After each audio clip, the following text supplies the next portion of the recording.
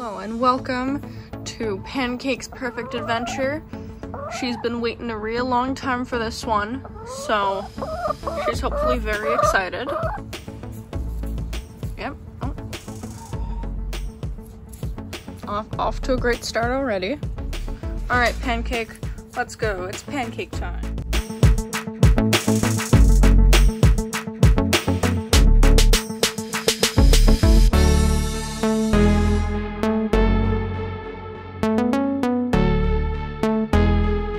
Of course, as adventure tradition, another chicken wants an adventure, but you're gonna get one soon, Mocha, I promise. I just need to get with, with Pancake first. I need to finish hers first, okay?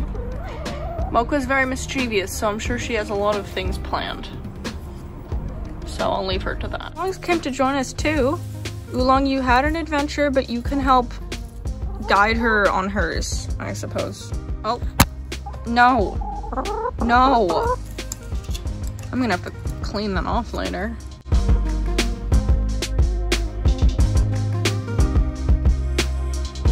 Here's what Mocha's mischievous adventure will offer when I'm finished with Pancake.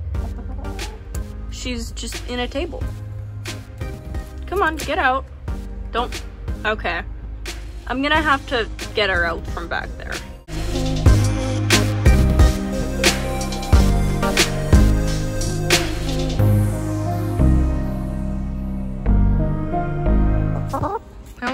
Our, our, we're back and Pancake is still trying to eat my phone.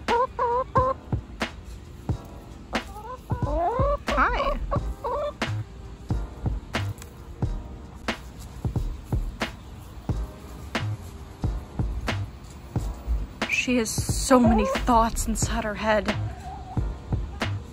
So many thoughts. So many deep philosophical questions. Look at her go.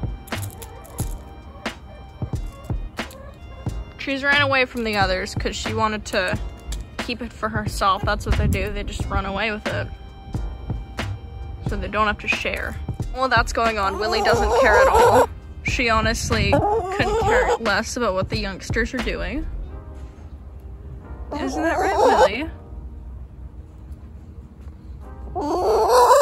Yeah.